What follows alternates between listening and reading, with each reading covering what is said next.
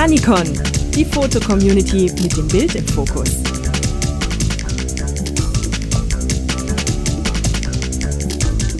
Das ist mein Peli 1510, Peli Case 1510, Pelican aus den USA. Ähm, ich mag die Peli Cases total gerne, auch wenn ich normalerweise nur ganz selten mal den Amazonas runterschwimme und auch nur in Ausnahmesituationen mal mit dem Auto drüber fahre. Die sind einfach von der Qualität her ganz toll, die sind wirklich robust gemacht, die Dinger. Der 1510 gefällt mir deshalb so gut, weil er vom Format her sehr schön ist. Einer der Koffer, die von innen größer sind als von außen. Ähm, den kann man im Flugzeug mit in die Kabine nehmen, hat also wirklich ein schönes, kompaktes Maß und man kriegt alles rein, was man für ein Hochzeitsshooting zum Beispiel braucht. Und ich zeige euch heute einfach mal, wie ich meinen Peli 1510 eingeräumt habe und was da so drin ist.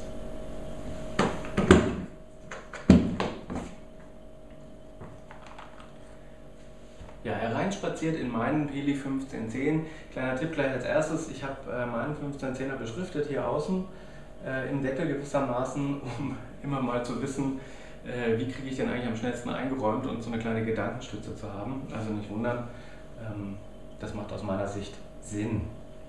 Ja, schauen wir einfach mal, was drin ist in meinem 1510er. Fangen wir hier mit den Bodies an. Da ist zum einen ein äh, D700 Body mit Batteriegriff.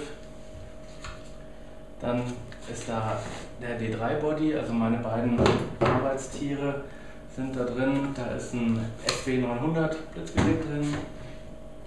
Ich habe hier das Nikon 2470 ein 3514. Oh, da ist gar kein Deckel drauf. Dann habe ich hier das 1424, eine Linse, die man oder die ich relativ selten brauche, aber immer wieder froh bin, dass ich sie dabei habe.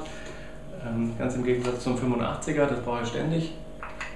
8514 in dem Fall. Und natürlich hier das 70200, auch ein Arbeitstier für jedes Shooting und da fliegt es auch schon weg. Des Weiteren im Deckel habe ich hier einen Ersatzakku für die D700 dabei,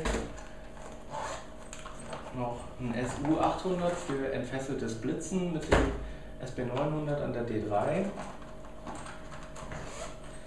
Hier noch ein paar von diesen AA-Akkus, meistens sogar aufgeladen. Ähm, da gibt es noch einen Ersatzakku für die T3 und hier schließlich und endlich ähm, das kleine Billy Case für die Speicherkarten.